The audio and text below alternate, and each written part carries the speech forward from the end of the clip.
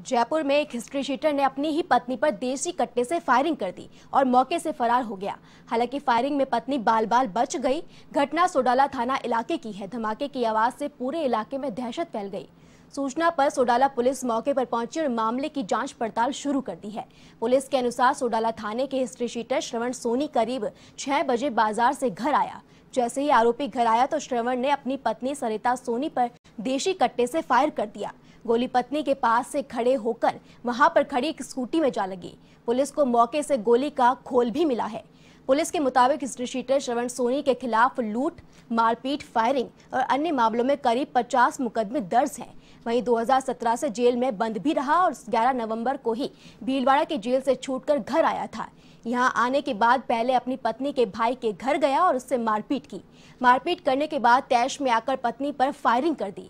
फ़िलहाल पुलिस आरोपी की तलाश कर रही है।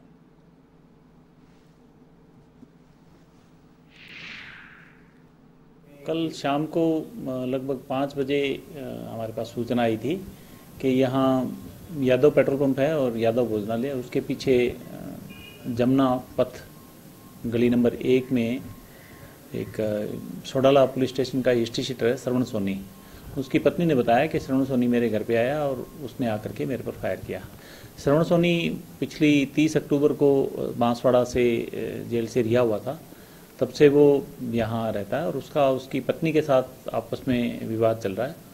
तो उसकी पत्नी ने कल सुबह ही आकर के और सूचना दी थी और शाम को उसके साथ ये इस तरह का हादसा हो गया।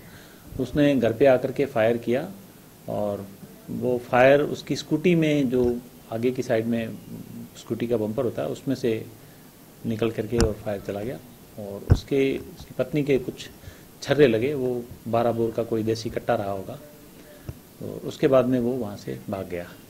उसकी तलाश के लिए अलग अलग टीमें हमने बनाई हुई है तलाश के लिए प्रयास कर रहे हैं। जल्दी